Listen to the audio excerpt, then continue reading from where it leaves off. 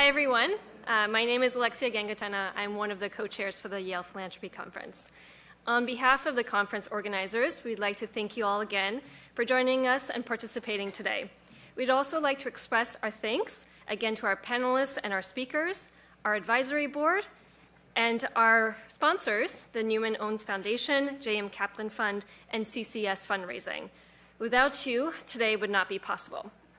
We hope the content today throughout uh, throughout all of the sessions has been inspiring and thought provoking.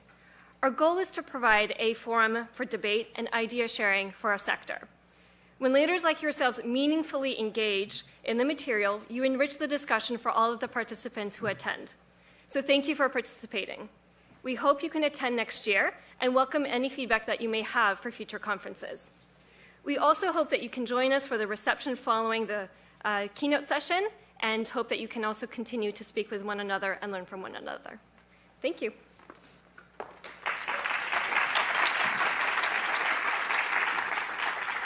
Thank you, Alexia. Uh, I'm Flannery Berg, and I'm also a co-chair for the Yale Philanthropy Conference. And I have the pleasure of introducing our afternoon keynote speaker, Aaron Dorfman. So when we decided on our conference theme of adaptive uh, philanthropy, resilient sector, and knew that we'd be really leaning into the sort of difficult issues of the moment today, I knew that Aaron would be the ideal speaker to call us to action at the end of a long, hard day of engaging in the material. Aaron Dorfman is the president uh, and CEO of the National Committee for Responsive Philanthropy, which is a research and advocacy organization that works to ensure that America's donors are responsive to the needs of those with the least wealth, opportunity, and power. He speaks and writes about the importance of diversity, equity, and inclusion in philanthropy, the great benefits of funding advocacy and community organizing, and the need for greater transparency in our sector. And before joining NCRP, Aaron worked for more than a decade as a community organizer with two different national organizing networks. He holds a bachelor's degree in political science from Carleton College and a master's degree in philanthropic studies from the Lilly Family of School of Philanthropy at Indiana University. NCRP's work and Aaron's writing has personally really challenged and motivated me to consider how I might use my own career in philanthropy to fight for a more equitable future. And I'm sure you all will find him just as inspiring. So please join me in welcoming Aaron Dorfman to the stage. Oh, thank you. Well, good afternoon. Flannery, thank you for that really generous introduction. I didn't know I had personally touched you with my writing and, and work, so um, that's great to hear. Uh, and it's a real privilege to be with you all here today at the Yale Philanthropy Conference, and I'm especially glad um, to see that this year's conference is in memory of my good friend Paul Connolly. Um, those of you who knew him knew how amazingly special he was, and it was such a tragedy to lose him so suddenly last year. Um, so, less than um, 25 miles from here, a little more than five years ago, a man with a gun shot and killed 20 children and six adults at Sandy Hook Elementary. And last week, uh, 18 young people were shot dead in Broward County, Florida. The next county over from where my wife and I used to live, and from where my wife was a high school teacher. Since the Sandy Hook massacre five years ago, there have been more than 1,600 mass shootings in the United States, with nearly 2,000 people killed and 6,000 more wounded. The scourge of gun violence affects every American.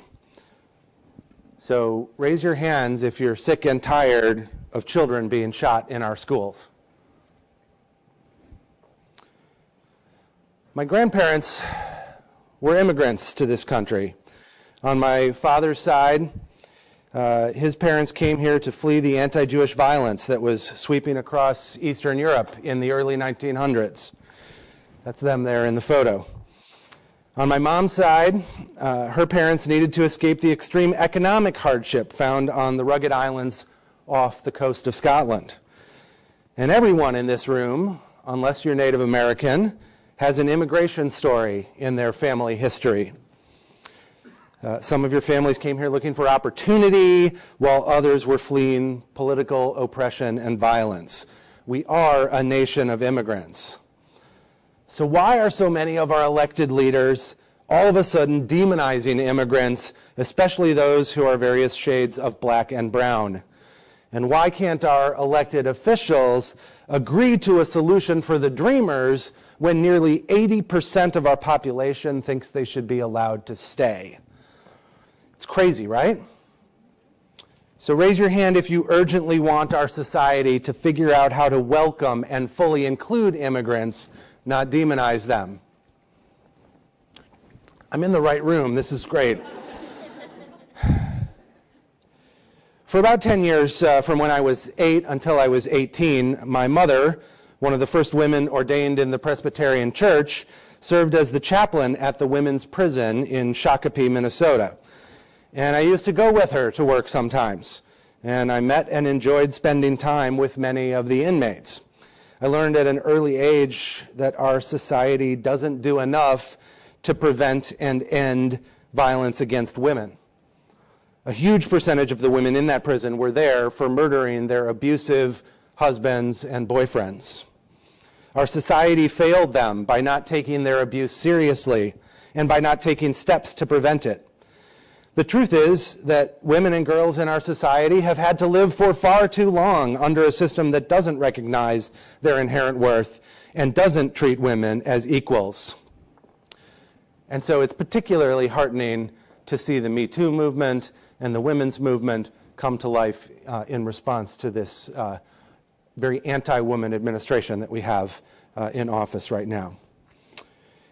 And I could talk for the whole hour about other important issues besides these three, like the need to reform our criminal justice system, where people of color are imprisoned at rates that are unconscionable, and where ex felons never earn back the right to vote in some states, even after serving their time. And speaking of voting rights, we could do a whole day about the need to protect our democracy by fighting voter suppression, reining in the influence of money in our political system, and putting an end to partisan gerrymandering. Or we could have a master class about the urgent need to combat climate change and protect our environment. I could talk for a whole hour about any of these important issues, but I won't. Uh, you're all here, we are all here, because we care passionately about these issues and many others, and we want to use philanthropy to make the world a better place. And if we're going to be successful in doing that, we have got to ask ourselves the right questions. These are challenging times that we are living in. And by asking ourselves the right questions, the hard questions, we can make a real difference with our philanthropy on the issues that truly matter. And so today I'm going to put forward five questions uh, that I think will help, uh, help us be effective in these challenging times. So the first question I want to encourage you to ask about your philanthropy is, am I dreaming big enough? Are we dreaming big enough? And so, you know, in his famous speech at the March on Washington, Reverend Dr. Martin Luther King Jr. did not come forward and say, I have a realistic plan with measurable objectives, and uh, I can have clear benchmarks and share, right? That's not what inspires us. Uh, he talked about his dream. And the truth is, there is no limit to what philanthropy can accomplish in the world if we dream big enough and are willing to take the risks necessary to make those dreams happen. Now, some of you might be thinking that's a little ridiculous. Philanthropic dollars are just a drop in the bucket. The best we can hope to do is fund effective programs and improve as many lives as we can. Well, I think that kind of small ball thinking is horsepucky, and we need to abandon it if we want to truly transform and improve our nation and the world. So, I'm going to tell a story about a couple of foundations that had those big dreams and how they changed the world. Think back 20 years ago, 1997, 1998. Gas was $1.22 a gallon. Uh, the Lion King musical had just debuted on Broadway. It was the hot new thing. And of course, that uh, unforgettable song, Wannabe by the Spice Girls, made it to the top of the charts. Now, did anyone in this room believe in 1997 that in less than 20 years, marriage equality would be the law of the land? It didn't seem remotely possible. Full marriage equality for same sex couples seemed very, very far off. But then in 2000, the leaders of the Evelyn and Walter Haas Jr. Fund, a California based philanthropy, began thinking about how the foundation could best support work to advance rights and dignity for gay people. And they began to dream big. And in, two, they, in 2001, they made a $2.5 million commitment to the Freedom to Marry campaign. And at the time, that was the largest gift ever made by a foundation in the history of the gay rights movement. And that investment got the ball rolling. And in 2003, recognizing that they couldn't possibly do this alone, the Haas Junior Fund helped organize a collaborative of funders who could work on these issues, the Civil Marriage Collaborative, which included a handful of committed, like minded funders from across the country. It took a big dream, visionary leadership, and trust to make this funder collaborative work. And working together for the next dozen years and in deep partnership with the movement organizations, they accomplished what was once unthinkable. unthinkable. And it wasn't always easy, right?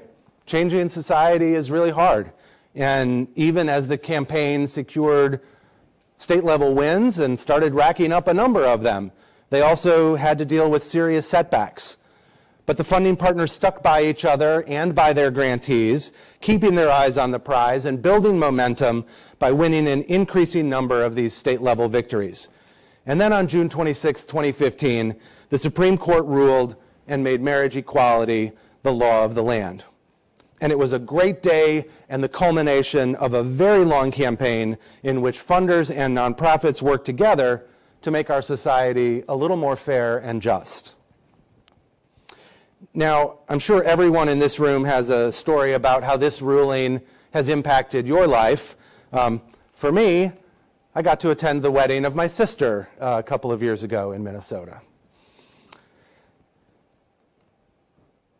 So, I want to uh, I want to ask you all to do a little exercise with me. Um, I want you to close your eyes and think about your dream. What is it that you want your philanthropy to make happen in the world? Uh, I'm serious now. I want you to close your eyes for just a minute, get a picture in your mind about what is your dream for your philanthropy. Okay, you can open your eyes now. I'd love to hear from a few of you. I want to know what some of the dreams are in this room. We've got microphones uh, coming down the aisles. Who wants to share their dream about what their philanthropy might accomplish in the world?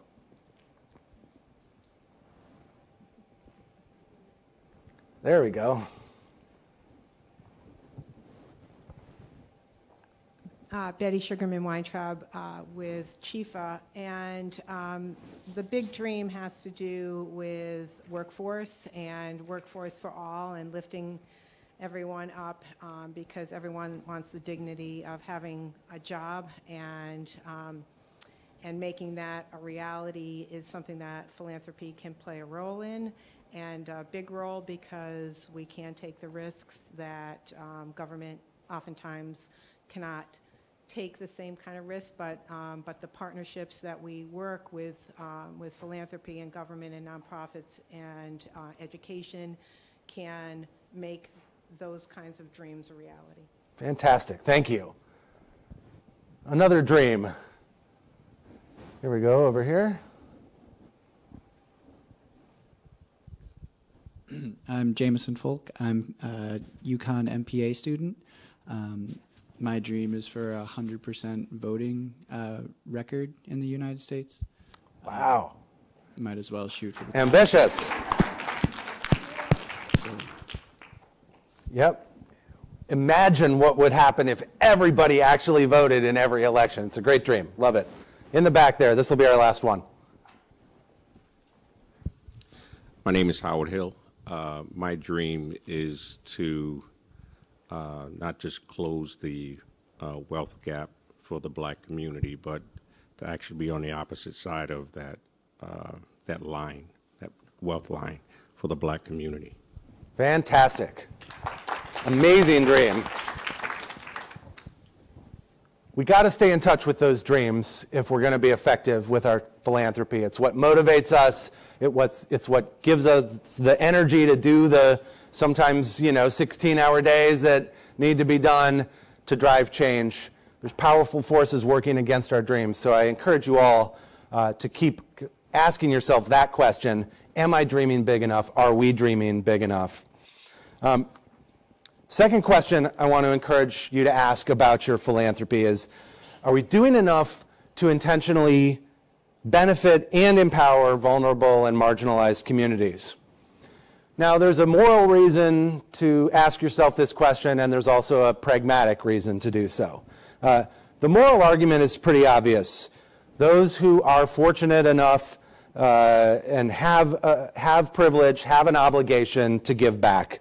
Uh, Virtually every faith tradition preaches some sort of version of that same message. Um, the pragmatic argument is what I want to spend more time on today, and it's pretty simple. It's that it works. In fact, uh, with most ambitious philanthropic visions, you won't be able to succeed in accomplishing your goals if you don't intentionally benefit and empower marginalized communities. So first, let's talk about intentionally benefiting underserved communities. Let, let, me use the Lumina Foundation as an example.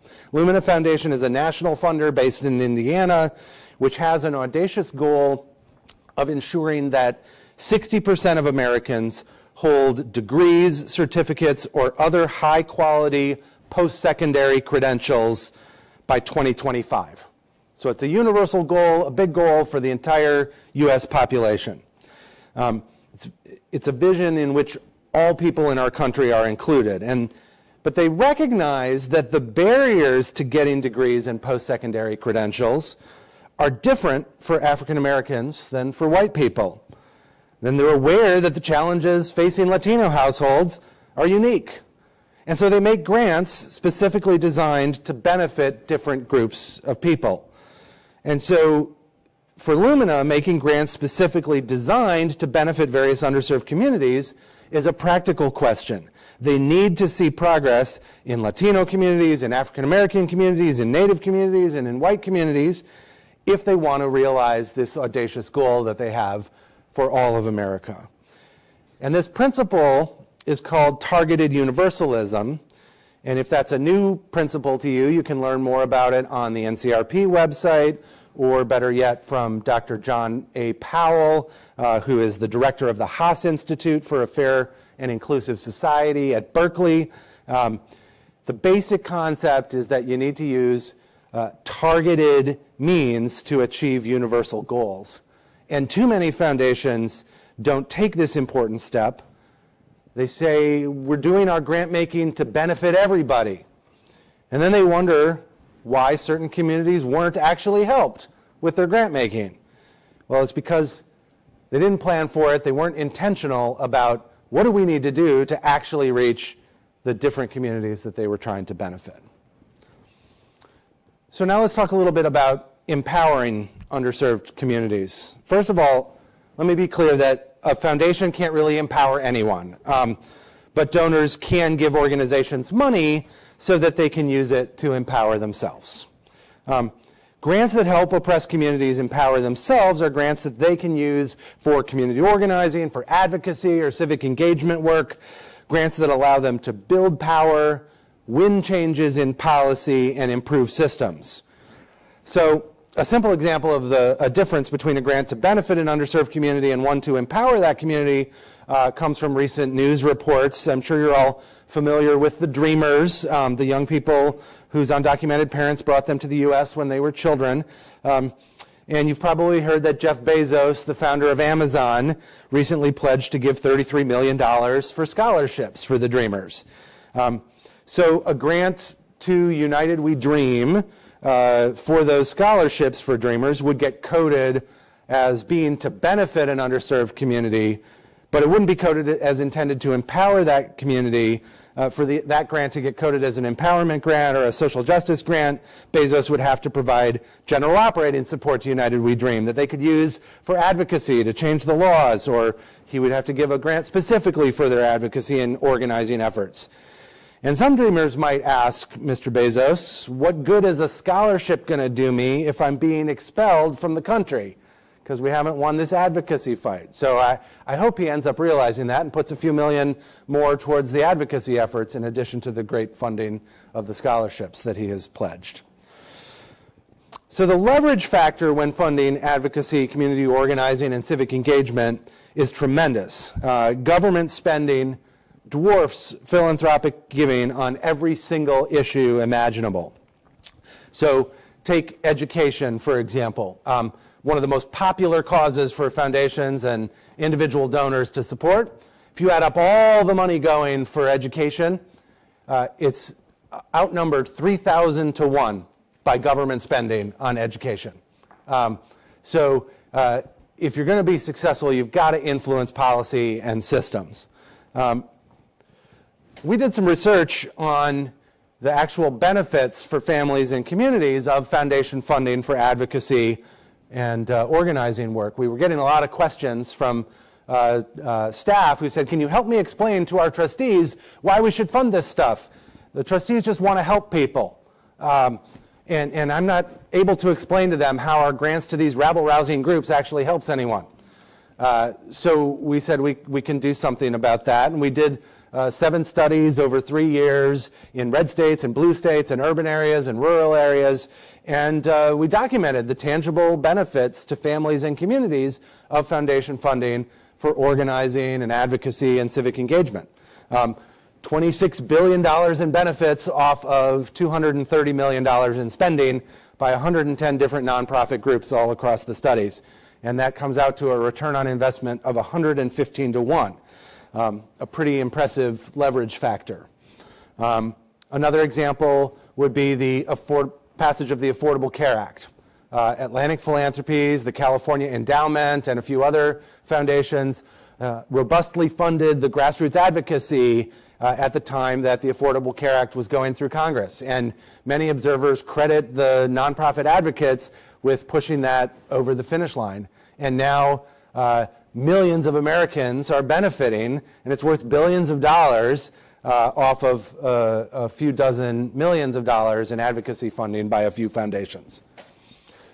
So, so if this leverage factor is so clear, and if the pragmatic argument for prioritizing and benefiting and empowering underserved communities is, is so strong, you'd think that most foundations would be doing it, right? They're run by logical people, right?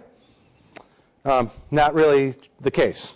Um, we find that foundations still shy away from adopting these strategies, unfortunately. So uh, we regularly analyze data about foundation giving. Um, and our most recent report on this topic is called Pennies for Progress. And you see just a few of the findings up there. Uh, less than a third of all grant dollars given by the largest thousand or so U.S. foundations is intentionally designed to benefit uh, communities who have been marginalized in our society. And we're talking about low income communities, women and girls, people with disabilities, immigrants, the elderly, communities of color, and other groups. It's a very expansive definition of underserved communities.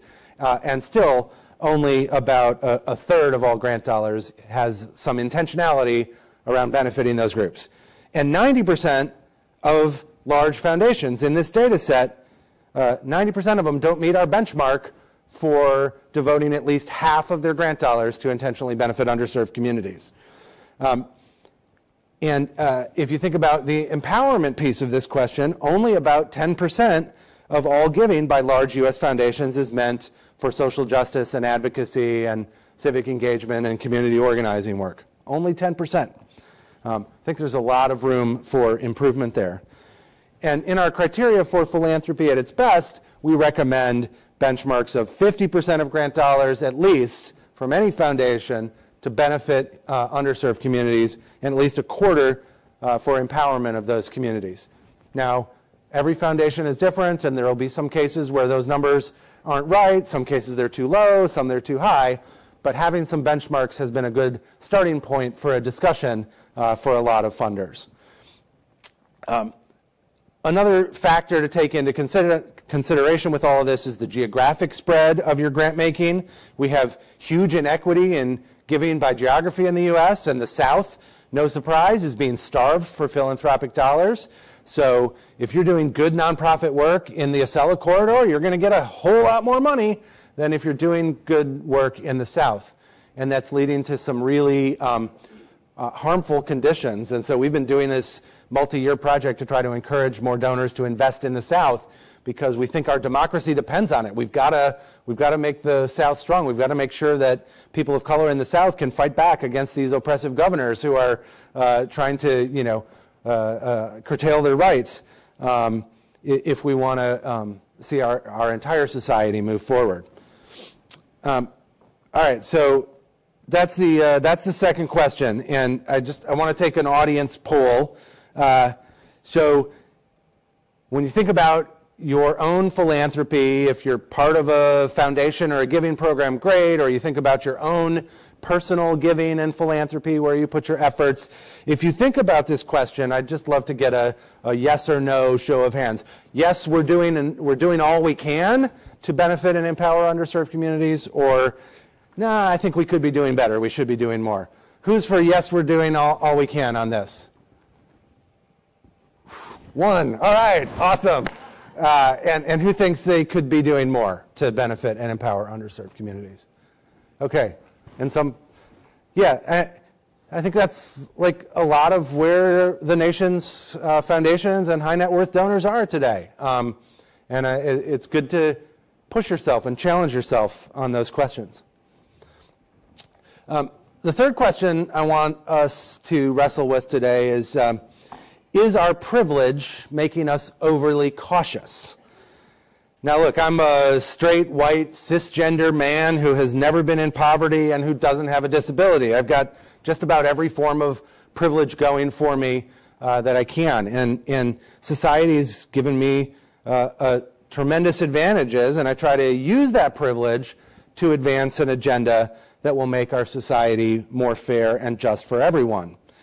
And in many ways, every single person in this room has a certain amount of privilege. If you're white, you get the benefit of the doubt from the police. Not true for people of color. If you're a man and you're pushy, you get thought of as assertive and authoritative. If you're a woman and you're pushy, sometimes you're labeled a bitch. If you're not living with a disability, that's a huge advantage in our society. Um, so, but being privileged isn't always an advantage in philanthropy. Your privilege can create serious blind spots.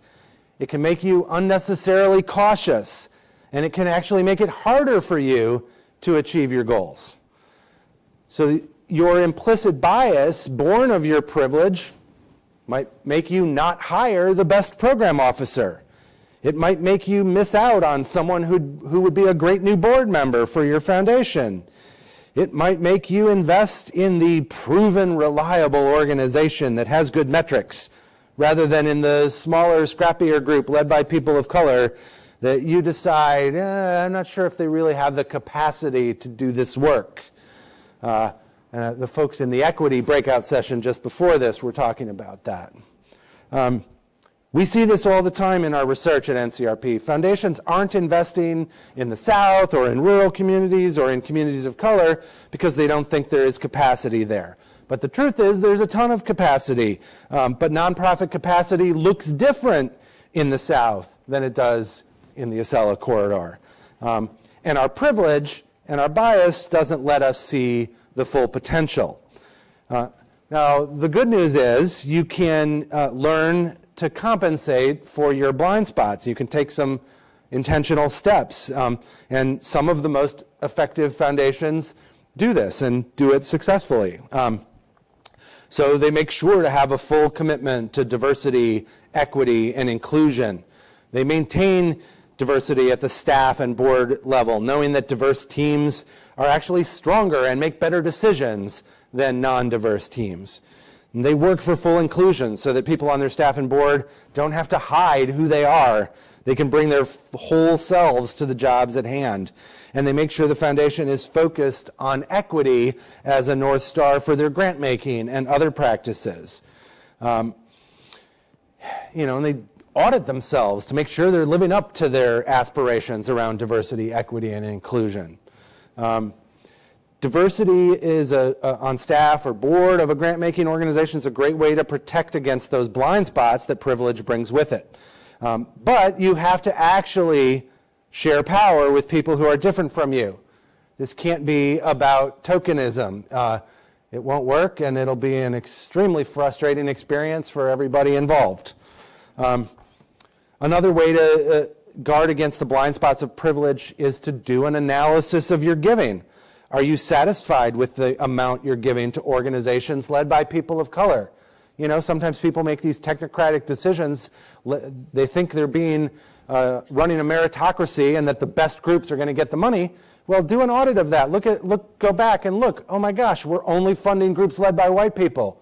Uh, you know, something's really wrong there. You're not having a meritocracy if that's what's happening. And the only way you know is if you actually analyze your giving and, and look at the numbers. You know, philanthropic organizations, we have this immense freedom. Foundations are really sort of lightly regulated institutions, but we don't use it. We don't use that freedom that we have uh, to take the risks and to really step out there and, and drive an agenda. And it's, uh, I think it's our privilege that holds us back from doing that. There's not that sense of urgency or need to take those risks. And so our default, because of our privilege, makes us overly cautious. And so the only way to get around that is to be thoughtful and intentional and systematic about interrogating your own aspirations and whether you're living up to them uh, in your grant making and other practices. Fourth question I want to encourage us to uh, ask about our philanthropy is Are we giving in ways that promote the health, growth, and effectiveness of our grantee partners and of those that they serve? Um, there's two essential things your grantees uh, uh, must have if they're going to maximize their effectiveness and their impact. They've got to have sufficient unrestricted revenue, and they have to have long-term commitments. Um, and Andrea talked about some of this uh, this morning. Um, unrestricted general operating support allows grantees the flexibility to adapt to, uh, to changing circumstances and to invest in their own capacity. And multi-year funding allows them to plan and to attract and retain the best staff people. Think about it. If you're uh, thinking of joining an organization and they've got a balance sheet that's, you know, really tiny, if you're the best and the brightest in your field, you might not take that job. Um, but if the funders of that group had given them some multi-year grants and the balance sheet was a little more healthy, um, they're going to be able to attract some better staff along the way. Um, so we have benchmarks that we recommend for this as well. We recommend at least half of your grant dollars for foundations be given in the form of general operating support and also at least half in the form of multi-year grants, multi-year funding. I talked to a foundation uh, just yesterday that is uh, finally, uh, they do like $25 million in giving a year. I was down in New York yesterday and he finally said, We've finally got a plan to transition from single year grants to true multi year grants. Every year they kept saying, We know we should do it, we know we should do it, but they didn't have the room. They finally made a plan to make that transition happen. So we've got these benchmarks half of your grant dollars as general operating support, half for multi year funding. Um, uh, uh, just get a show of hands on this one. Who, who thinks they, uh, they meet the general operating support benchmarks with any uh, giving that they're a part of? Couple here? All right, good. And what about multi-year funding? Anybody doing multi-year uh, grants in the room? Awesome. Great, great, good. All right. Um, a long way to go, and I know not everybody here is uh, associated with a, a grant-making organization that could answer that question, but um, good to see that some of you are doing it, and I challenge those of you who aren't to um, see how you can improve on those metrics, because it makes a real difference to your grantee partners. Um, my friends over at GEO, the Grant Makers for Effective Organizations, put out a report periodically that looks at these issues. Uh, it's called Is Grant Making Getting Smarter? Um, and when I look at the data, I, you got to answer, I'm not sure that it really is. Uh, we repeat a lot of the same mistakes. The, the things that matter, if you look at the trend lines, it's not getting a whole lot better. Uh, and the only way it's going to change, it changes at certain institutions, and it changes when somebody decides that they want to be the one who drives the change and makes it happen. So I hope all of you in this room can be that person at any organizations that you have influence with. Um, all right. So, uh, fifth question I want to ask ourselves uh, Are we wielding our power and all the tools at our disposal to build the world we envision? Good philanthropy is about more than just making grants. Um, we have to wield our power too. Yes, the grants are essential. Your nonprofits will, um, I mean, that's the thing. They need more from you than anything else. They need the money. Um, but, uh, but too many funders rely only on their grants to achieve impact, and they miss an opportunity to leverage some other tools at their disposal to advance their mission uh, and values and goals. Um, in 2014, there was a great speech by Ambassador James Joseph, who addressed community foundations at the Council on Foundations Community Foundations Conference uh, on the five types of philanthropic capital. And he urged them to move from being a grant maker to being a social enterprise that strategically deploys not just financial capital, but social, moral, intellectual, and reputational capital as well. Um, and, and the non-financial capital uh, represents institutional and individual power that can be effectively used to influence others in order to achieve equitable long-term change. Um, Yet the idea of wielding power and influence can be difficult for some foundations that like to pride themselves on being a neutral convener. Um, you know, there's this uh, quote by um, Bishop Desmond Tutu that um, uh, if an elephant is standing on the tail of a mouse uh, and you tell the mouse that you're a neutral convener, um, he's not going to appreciate that very much. Uh, and, and, I think it makes far more of a difference when foundations, in fact, clearly, and high net worth donors, take a side, take a stand, stand for communities that you are trying to advance. The neutrality uh, is really overrated as uh, an asset that foundations have. Um, exercising the power of the bully pulpit um, is, is so important. And, you know, some people conflate that with being partisan uh, or with being dictatorial.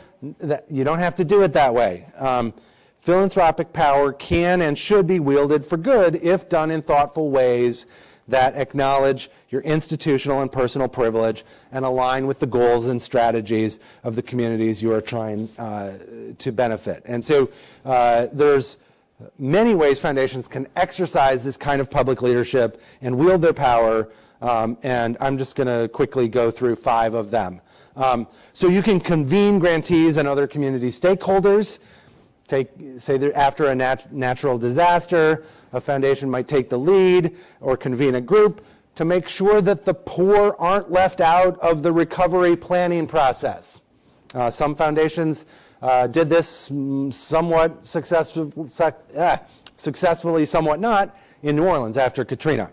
Um, or after a, a, a, tragedy or a terrorist attack, like the mass shooting at the Pulse nightclub in Orlando, um, a foundation might con convene stakeholders to make a plan that results in a great new philanthropy, like the Contigo Fund.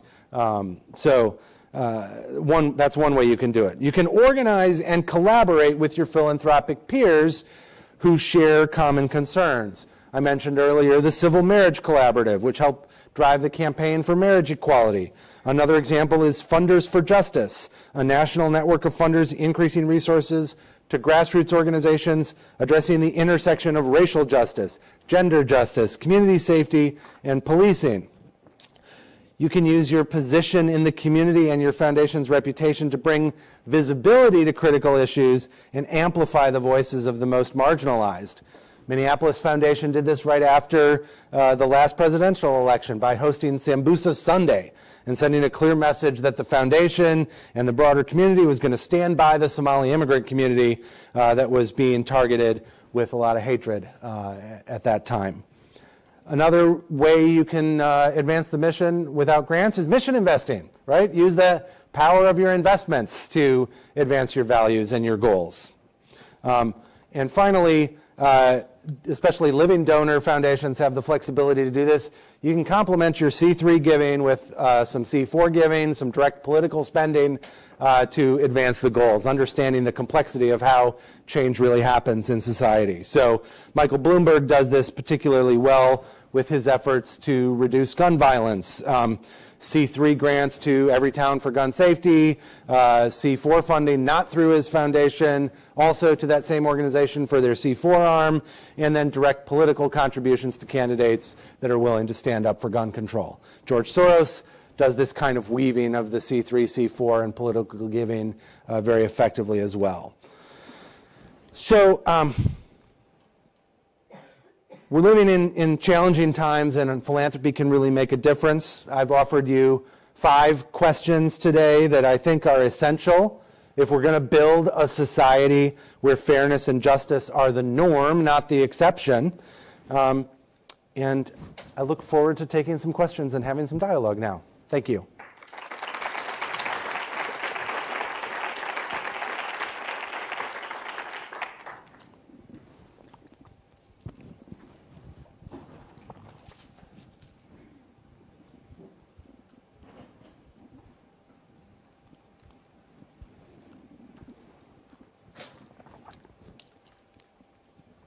Got one down here.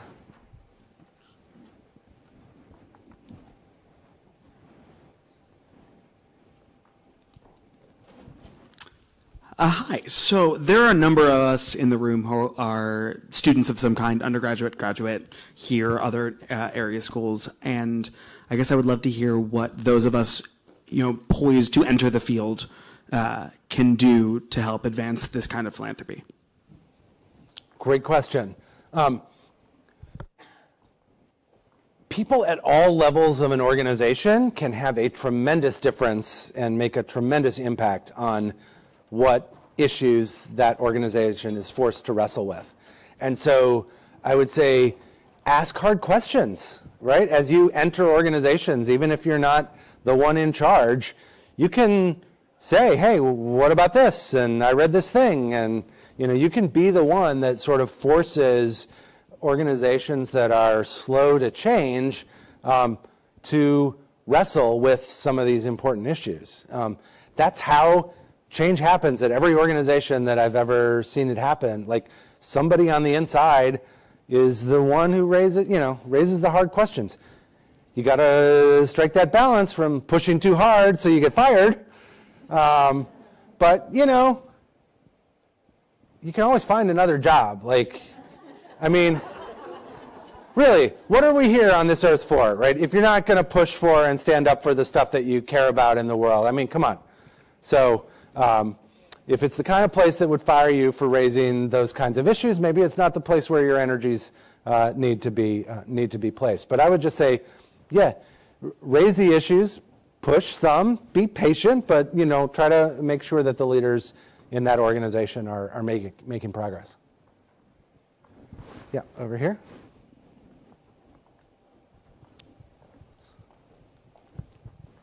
Hi, um, I'm Angelica Durrell from the Intempo Music Organization in Stamford, Connecticut. Um, I want to ask, what kind of recommendations do you have for uh, women of color in a nonprofit sector looking to build cultural equity through education and, and music? How could we approach our current funders or our foundation partners or prospects to invest in cultural equity in, in, a, in a positive way, in a non um, exigence way? Or what should we show them in terms of data, stories, or the future of the demographic lands, landscape? Was that like a setup question? Because we did a report on this. That's a great question. Um, uh, I'm trying to think of the exact name of it. Um, Holly Sidford wrote it for us. It was about five years ago. Fusing Art, Culture, and Social Change is the title of it. It's on our website, and it's exactly from that sort of positive frame, um, encouraging and pushing arts and culture funders to move beyond funding of the traditional Western European canon organizations and to fund arts organizations led by people of color and presenting different kinds of arts approaches. So it goes, puts forward a really accessible uh, way to get into the, those issues with funders who are more used to just funding traditional um, uh, arts and culture organizations. Um, that's one thing. Another is don't do it alone, right? Get together with others and talk to, if there's a few big funders in your community of the arts and they need to uh, be sort of um, uh, presented with a new opportunity, maybe you all you know, go together and have that conversation uh, together so it's not just one uh, person or one organization raising the issue. Those are some of the thoughts that I have. Okay, great. Uh, we got several over on this side. Hi, I'm Maryam Elahi from the Community Foundation of Eastern Connecticut. How do we counter the influence and impact of dark money?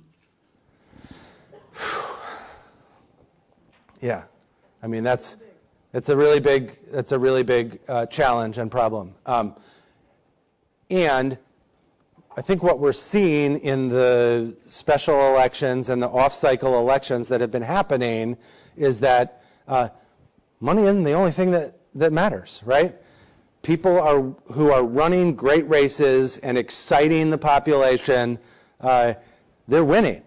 And no matter how much money the other side is throwing at it. I think we saw that in the presidential race as well. Uh, uh, the Clinton campaign far outspent um, the Trump campaign, and yet we didn't get that result that one would expect. So I think money plays an important role, but I don't think that it's um, the determinant factor.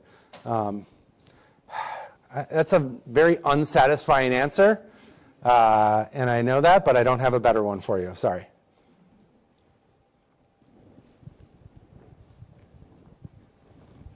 Hi there. Um, I'm a student here and one of the conference organizers, and I used to work in board governance at a nonprofit.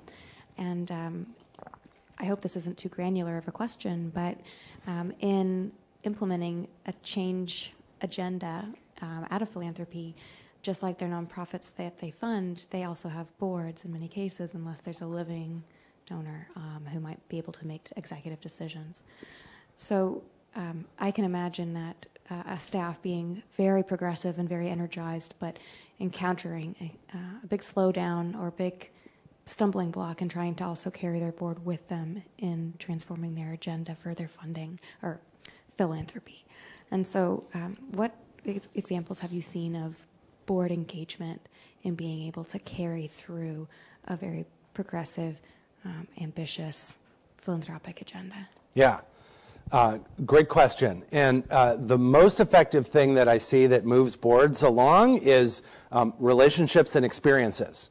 Um, so if you're staffing a philanthropy and you want that board to like understand the struggle a little more, like get them out of the boardroom and into the community and meeting with real leaders who are tackling uh, real issues, and they will get excited by what they see. Um, and, and we've seen that work in a lot of ways. Um, Colorado, they couldn't get uh, the big foundations to fund in rural communities at all. So they said, all right, we're just going to take trustees and staff of all the big foundations out to the rural communities. We're going to organize a funder tour. And they went out and they met people and they formed relationships. And sure enough, the dollars flowed after it.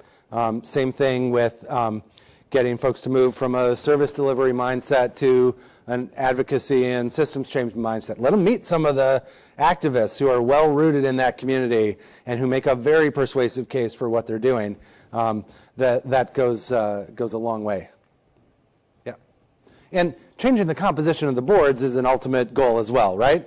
Um, we recommend that uh, foundation boards include at least five people and a diversity of perspectives among them. Every family foundation board that I talk to, I encourage adding non-family members to the board. Um, people have, uh, it, it makes your philanthropy better and smarter to have a range of perspectives represented with real decision-making power on the board huge weakness of the Gates Foundation. You know, they, they formed advisory committees to say we're, you know, getting input from the best. It's a good, it's a, it's a ni- nice step, but, um, you know, you've still got just the family trustees plus Warren.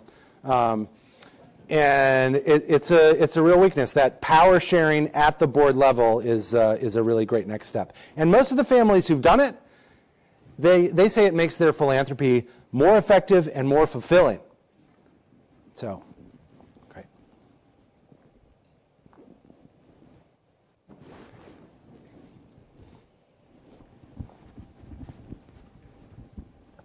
What are the changes that you're seeing in the philanthropic sector that get you the most excited right now? Some of the, um, couple of things. So, leadership of people of color at all levels is really taking off and is very exciting in the philanthropic sector. We're seeing more CEOs of color, especially of large foundations, than we've ever seen before. That's very exciting to me. And then you've sort of got the next tier down. Who was in that equity session? Oh my God, that was so great. Um, so, uh, so I think the I think the leadership of people of color in our sector is the most exciting thing that I'm uh, that I'm seeing. We got one way in the back back there.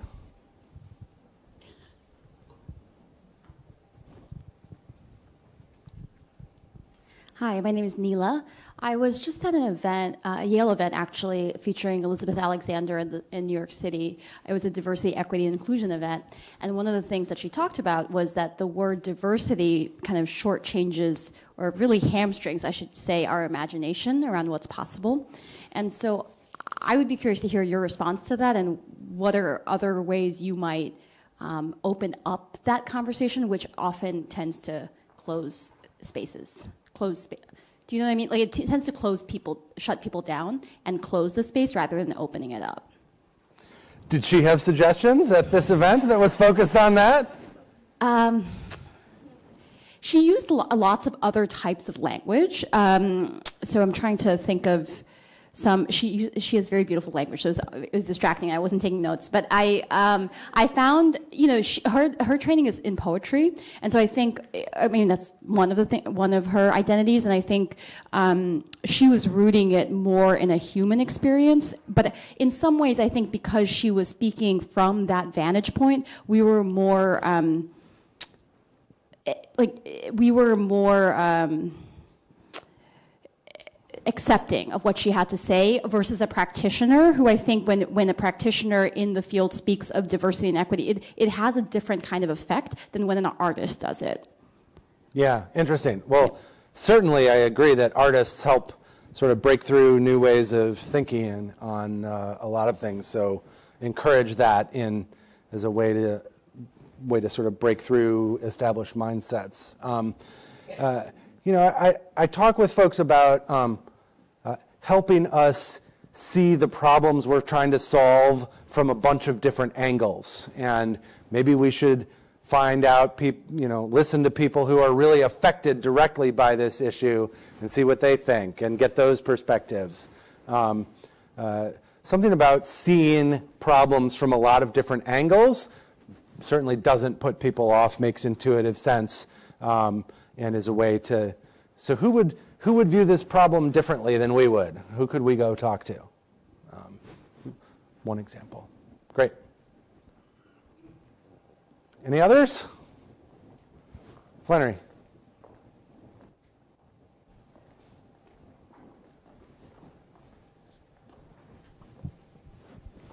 I guess um, a question I have is what do you say to the organization resistant to this that says this just isn't our issue area. I think particularly on things not so much on the underserved community side, but it could be. But I think especially the funding of advocacy and community organizing um, to face that re- resistance, and specifically around this isn't our focus.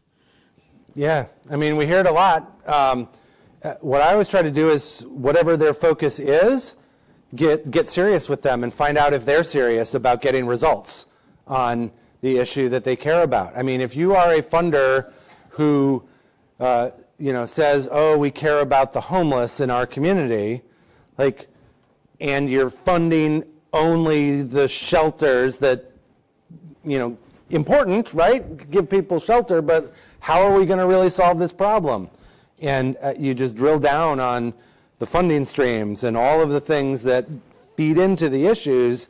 And anyone who's being honest with themselves realizes they have to uh, somehow be connected to policy and advocacy work on almost every single issue um, that exists out there, from environment to um, education, health, you know, all of those. So it's about really drilling down and understanding, well, what do they actually care about? And then sort of helping them or forcing them to be a little bit more rigorous about what's it going to take to actually achieve what you want to achieve in the world.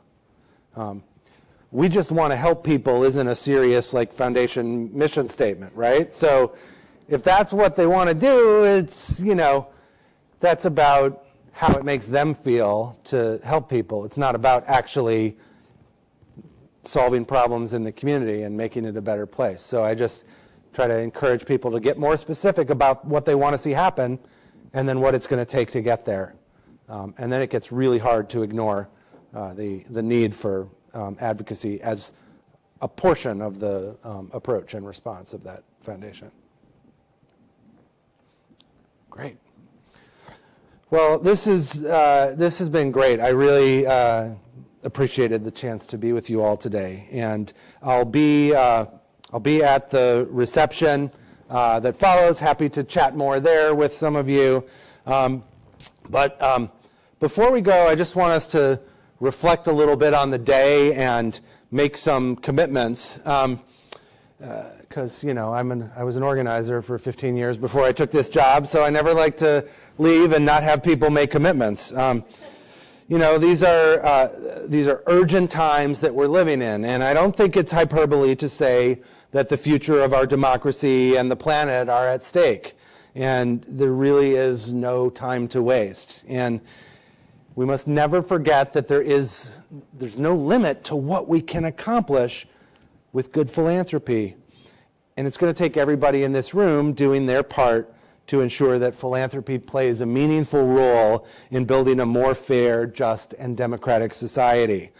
Um, so I, I want to encourage, I want to see who in this room is uh, serious about that and wants to be part of that journey. So so stand up if you're going to start a serious conversation uh, about mission investing uh, or about increasing general operating support or multi-year grants in some of the circles that you're involved in. Anybody going to start that kind of conversation? All right, there's one, two, good. All right, stay standing.